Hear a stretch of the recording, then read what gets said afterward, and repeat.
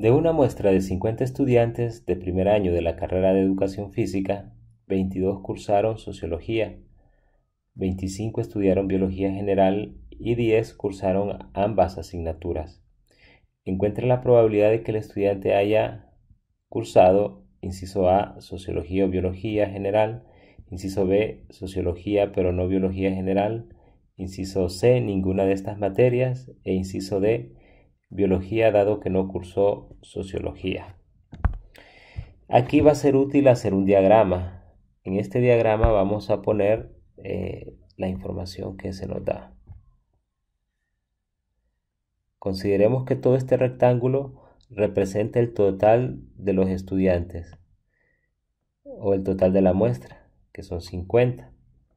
Pero luego tenemos que de esos 50, algunos llevaron eh, sociología y otros llevaron biología general.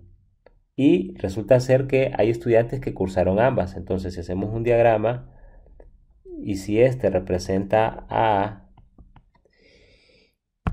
y si este círculo representa B, donde A es que cursaron sociología y B biología,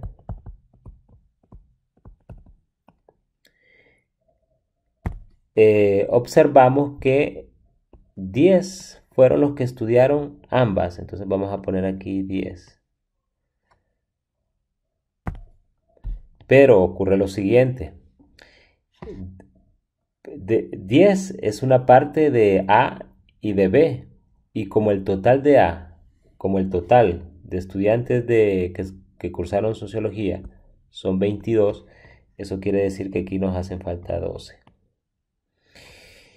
Y como fueron 25 estudiantes que llevaron biología general y aquí ya tenemos 10, entonces aquí nos faltan 15. Si sumamos 12 más 10 más 15, eso nos da 37.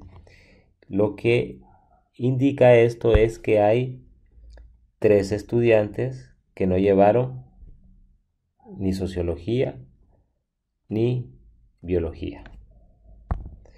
En el inciso A eh, nos piden la probabilidad de que he estudiado sociología o biología general.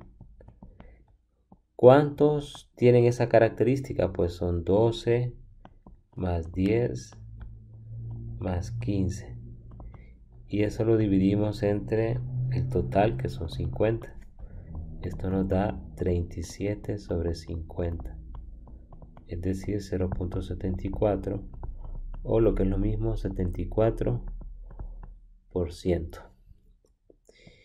Inciso B sociología pero no biología.